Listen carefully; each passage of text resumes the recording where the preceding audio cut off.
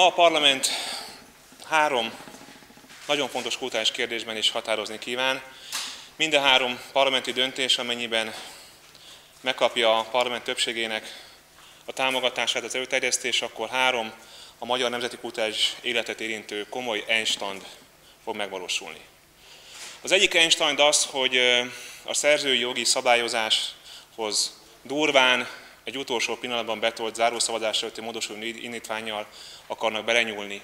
Egy kulturális Einstein az, hogy a múzeumi törvényt úgy akarják megváltoztatni, hogy a magyar teljes műkincs vagyon felett tulajdonképpen a miniszter rendelkezhet, és a műkincsek áthelyezésével kapcsolatosan tulajdonképpen a miniszter szabad dönt. És egy kulturális Einstein az, hogy a Magyar Művészeti Akadémia megkapja a vigadót, és bónuszként, ráadásként még egy komoly értékű villát. Engedjék meg, hogy én az első két kérdésről egy kicsit bővebben is beszéljek.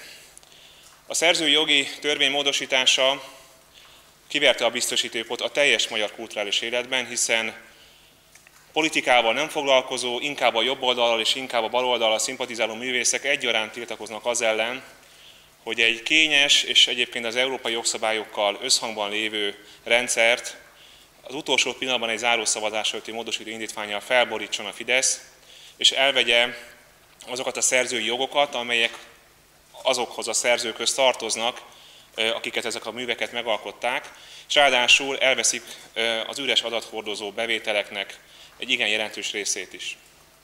Teljes joggal tiltakozik a magyar kulturális élet ezzel a durva beavatkozás ellen, hiszen ezek, ezekről a szerzői jogokról a szerzők mondhatnak le annak érdekében, hogy az adott kulturális ágazat egyéb szerzői támogassák szociális vagy kulturális pályázatrendszeren keresztül.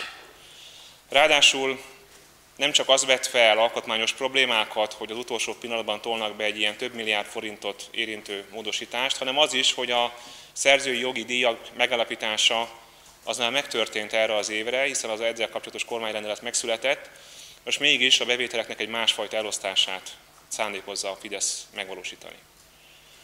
Súlyos alkotmányos és szakmai problémákat vet fel a múzeumi törvény ma tervezett módosítása is, amivel kapcsolatosan már Hírel Istvánnak korábban benyújtottunk egy módosító indítványt, ez sajnos nem kapta meg a Fideszes többség támogatását, de nem adjuk fel, és ma újra próbálkozunk, és egy zárószavazás előtti módosító indítvány formájában újra benyújtottuk azt a módosítást, ami csak egy dolgot kérne a kulturális kormányzattól. Csak egyetlen egy garanciát szeretnék ebben a törvényben látni, mégpedig azt, hogy azok a műkincsek, amelyek valamilyen okból, valamilyen köz- vagy magánszereplőhöz átkerülnek a miniszter döntésének nyomán, csak egy dolgot szeretnénk, hogyha lenne a törvényben garancia arra, hogy az új helyen kiállított műkincsek nem sérülhetnek, nem kerülhetnek rosszabb, rosszabb körülmények közé, és nem sérülhet a tudományos kutathatóság szempontja sem.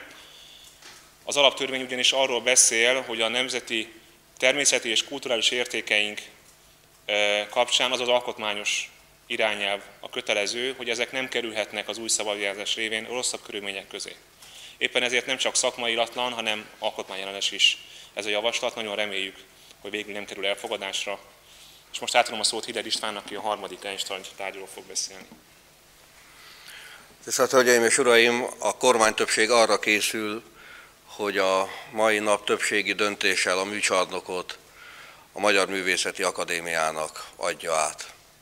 Ezt mi merényletnek tartjuk a magyar művészet és a magyar kultúra ellen. A műcsarnokot még Ferenc József adta át. Azóta öt rendszerváltás, és valamivel több mint 50 kormánya volt ennek az országnak. De egyetlen egy rendszer, egyetlen egy kormányának nem jutott eszébe, hogy bármely társaságnak, bármely azonos politikai ízlésirányhoz tartozó társaságnak a műcsarnokot, amely közös kincsünk átadja. Nem csak használatról van szó, nem csak ellenőrzési és felügyeleti jogról, hanem a műcsarnok tulajdonjogát kívánja átadni a Magyar Művészeti Akadémiának. Ez azt jelenti, hogy igenis egy meghatározott politikai érték közösséget valló társaság, a magyar kultúra egy meghatározó nemzeti intézménynek kizárólagos tulajdonosa és használója. Márpedig a művészet nem baloldali vagy jobboldali. A művészet, a kortárs magyar művészet otthona volt több mint 120 éven keresztül a műcsarnok. Ezért ez a lépés meggondolatlan, és következményeiben rossz precedens teremt. Képzeljék el, mi van akkor, hogyha bármely következő kormány úgy gondolja, hogyha ez a kormány a tér egyik felét odaadta egy társaságnak, akkor ő majd a tér másik felét odaadja egy másiknak, mondjuk a Szépművészeti Múzeumot.